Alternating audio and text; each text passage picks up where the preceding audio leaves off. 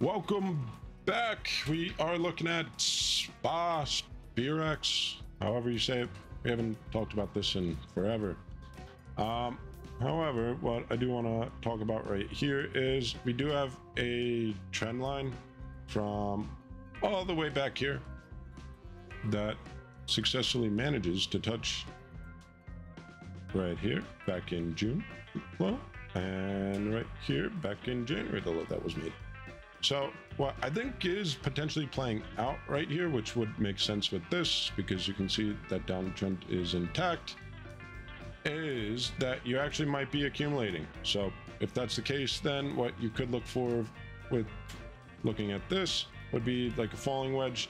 You come back down, maybe make a new low. If you don't make a new low, then you'd make a higher low right there, bounce off of that point of control, come back up, and then you finally break through, which, um, I mean, this in itself, that would be massive.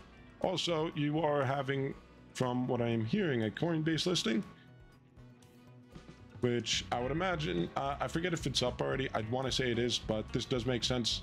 So whenever you get the listings, you get that run up beforehand, and then it gets listed, and then you start to see it rug down, which would make sense.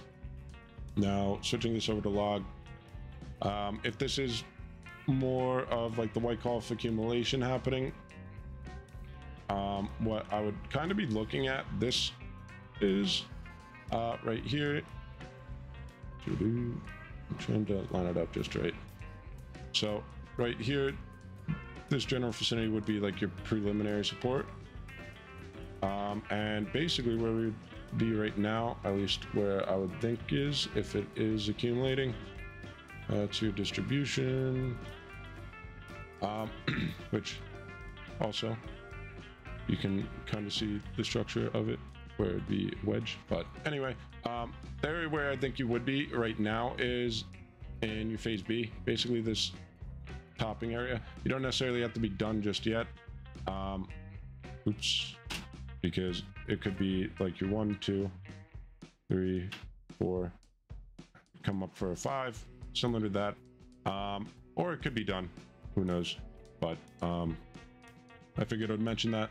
That means after this, you'd go head on down for that um, higher low that we were just talking about. And then from that point on, I would imagine, well, that higher low, depending on like which schematic you want to look at, you could have a spring which does end up breaking this low. You make a higher low right there and then carry on with your day. Or if you're looking at your schematic two, you make a higher low essentially up here. And basically that's your last point of supply and then you move on up. So basically the main difference is your phase C. Uh, but even on the schematic one, which I do want to mention, your spring slash test, this doesn't necessarily have to break the low in itself. Um, could just come down very, very, very, very, very close. So looking at that, um, however, you still do have this relatively strong uptrend. Uh, for uptrend to really get taken out, you would really have to close below about uh, two zeros, 93, which um, I'm pretty sure the first video I did on this was like, I know it was several months ago, but I do remember talking about how um, this is like one of those hidden gems, those like 100x gems. So I would honestly, even if I wanted to go up, I'd be more so rooting for it to come back down where it's clearly like sub cent. Um, if you could get it below like half a cent, I would be definitely adding because just even getting back to that all-time high is a astronomical gain. So if we were to go from that point of control back to this all-time high right on over here, you'd be looking at least a 46x. So, I mean, that's pretty good.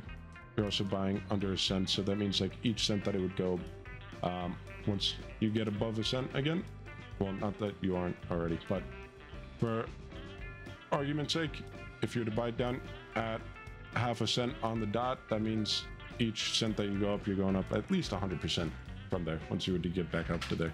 But um, anyway, that's all I'm really looking for for the time being. The last thing that we can do is draw a uh, trend-based fibrator, which would give us our Fibonacci's.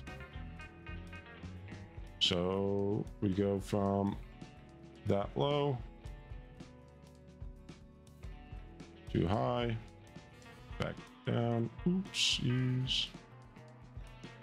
Back down.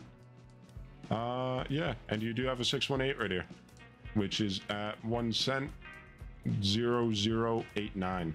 So you firstly you could look for that was a prior resistance area.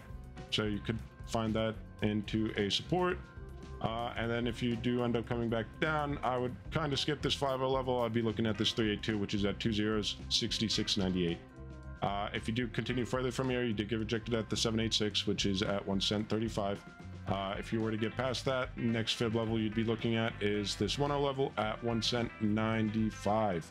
So um, ultimately, if you did get confused by what I was talking about, uh, I am bullish on the Sperax. However, I think there is a chance that you do end up coming back down here, make a higher low, and then you can powerhouse on out of here through the several things that I said. This also does look like it is a falling wedge on a larger structure, which is really good. Uh, if you were to roughly take this with like a grain of salt, if you were to look for a measure move of this, and let's say, let me grab that, we're to break out right on over here. That gets you all the way up to about three cents. So other than that, none of this is financial advice. These are all just my thoughts and opinions, and you guys have a phenomenal day as always. Adios, muchachos.